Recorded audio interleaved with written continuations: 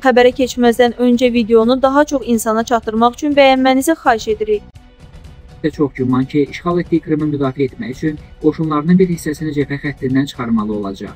Yeni xəbər xarici agentliklərə istinadən xəbər verir ki, bu barədə ABŞ-ın müharibə tədqiqatları institutu məlumat yayıb.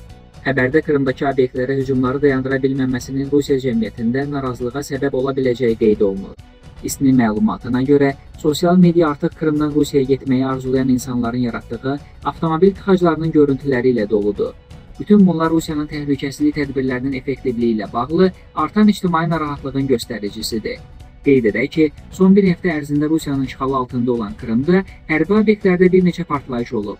Avqustun 9-da Krımın Novofedorovka hərbi aerodromunda partlayış törədilib.